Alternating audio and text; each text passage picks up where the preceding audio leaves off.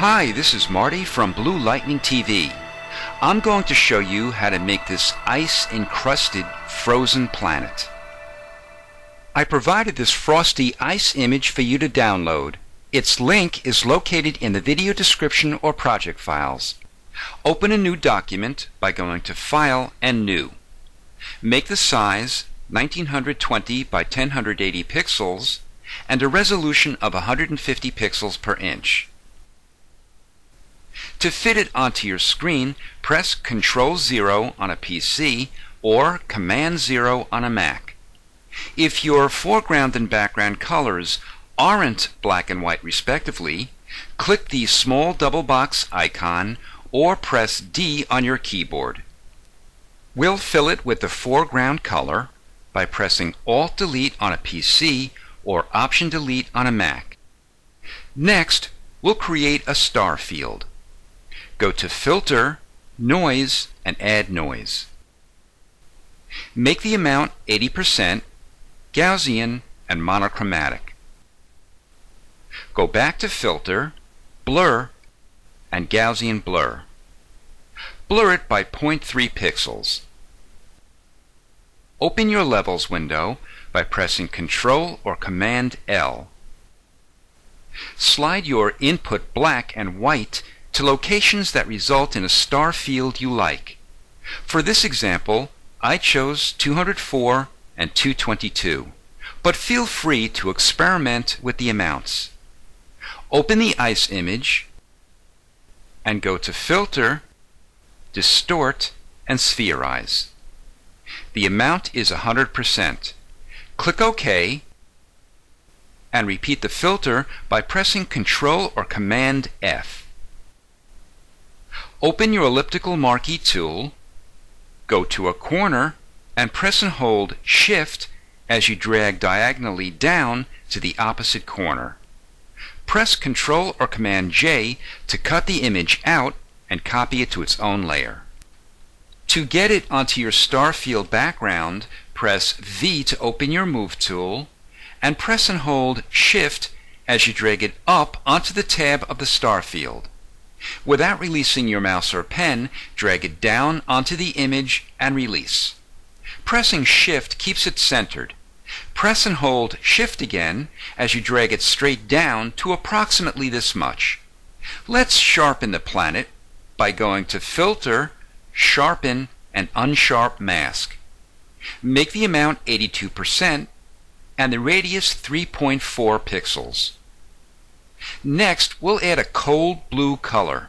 Click on the adjustment layer icon and choose Hue Saturation. Check Colorize and make the hue 225. Next, we'll add an outer and inner glow to the rim. Double-click on the thumbnail to open its layer style window. Click Outer Glow and the color box pick white and press enter or return. Make the opacity 60% and the size 35 pixels. Click inner glow and the color box. Pick white again, then press enter or return. Make the opacity 100% and the size 75 pixels. Next, we'll add a soft, bright glow to the inside top of the planet. Go to the thumbnail and press Ctrl or Command to make a selection of the planet's shape. Open your brush tool and make the size 800 pixels and a hardness of 0%. Invert the foreground and background colors by pressing X on your keyboard. Place your cursor on the top edge of the planet and click down once. Next, we'll cloak most of the planet in shadow. Make a new layer and go to Select, Modify, and Feather. Feather it 50 pixels. We'll fill the selection with black, and since black is the background color, press Ctrl or Command plus Delete. Then delete the selection. We'll slide the shadow straight down and then enlarge it. First, Press Z to open your zoom tool and press and hold Alt or Option as you click down on your image a few times. Press Ctrl or Command T to open your transform tool. Press and hold Shift and drag it straight down. Go to a corner and when you see a diagonal double arrow, press and hold Shift and Alt on a PC or Shift and Option on a Mac and drag it out. Continue to position and resize it until you're happy. I enlarged it approximately 160%. To accept the transform, press Enter or Return.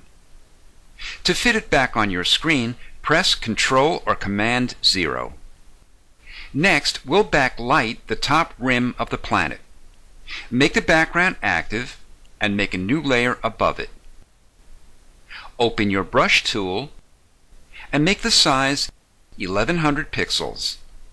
Center your cursor over the top rim and click down once. The last step is to add a lens flare. Make a composite snapshot of your image by clicking on the top layer and pressing Ctrl Shift Alt E on a PC or Command Shift Option E on a Mac. Go to Filter, Render, and Lens Flare. Click on the lens flare and drag it to the top rim. Make the brightness 75% and the lens type 50 to 300 millimeter zoom. This is Marty from Blue Lightning TV. Thanks for watching.